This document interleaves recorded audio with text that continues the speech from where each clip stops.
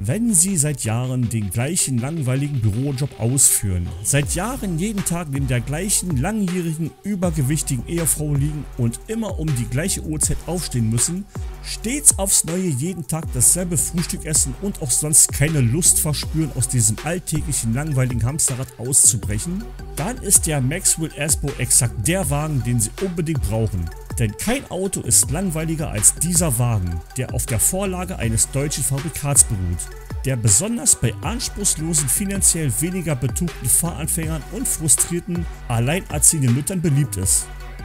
Meine Fresse, war das jetzt ein langer Satz.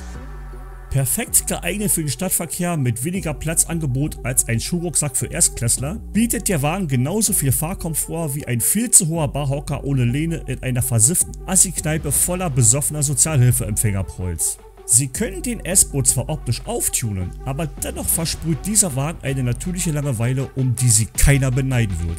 Und auch wenn dieses Fahrzeug fahrbar ist und beschleunigen kann, in der Zeit, die dieses Auto benötigt, um von 0 auf 100 zu kommen, können Sie beruhigt ein dickes Buch zu Ende lesen und eine ausführliche 100-seitige Rezension dazu schreiben. Sie müssen sich auch keine Sorgen machen, dass der Wagen zu laut sein könnte. Sie hören ihn eh nicht, da das Sitzen in diesem Fahrzeug so dermaßen eng ist, dass Ihre Knie Ihre gesamten Ohren verdecken werden. Wenn Sie also ca. 35 Pfandflaschen mit 25 Cent Wert pro Flasche Ihr eigen nennen, dann lösen Sie diese ein und kaufen Sie sich diese personifizierte Langeweile namens Maxwell Aspo. Für wenig Geld bekommen Sie wenig Auto. Aber hey, wen stört das schon, wenn er eh anspruchslos und arm ist?